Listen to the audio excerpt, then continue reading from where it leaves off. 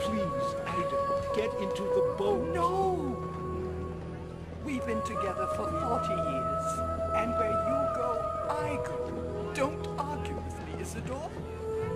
You know it does no good.